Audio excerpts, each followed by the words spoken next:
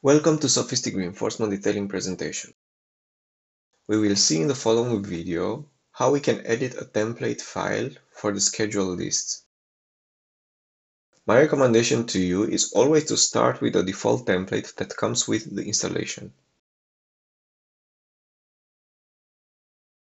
Let's see what the UK template contains. The table that we want to edit is the weight summary table. The definition of the table is made all the time in the cell that contains at SOFiSTiK. In the example project that I have, I would like to create a quantity schedule containing weight for straight rebars, bent rebars, and total summary. It seems that I have the table for total weight. Let's copy two times the table, rename, then edit the value for filter.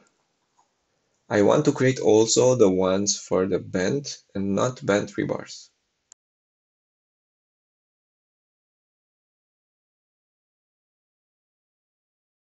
Depending on what value we give for name, some parameters are allowed or not to be written in the tables. But first, don't forget to save it under another name to keep unchanged the original files in case we need this uh, in other projects later. For more information and for being aware of how far you can go with editing the docx templates, I strongly suggest reading the documentation.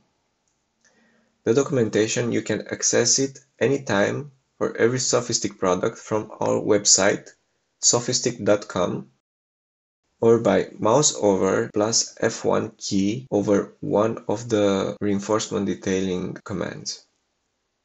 To reach our scope, we can use the filter function for weight summary table. I'll go now to online documentation to see exactly the spelling of the string values that I have to give in filter field. It looks quite intuitive. Now, let's adapt our docx template, save it and close.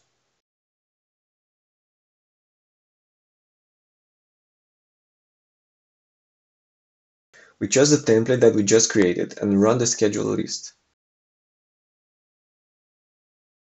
Let's do a simple check. If we sum up the totals from the not bent table with the one from bent, we should get the value from total table. Looks fine.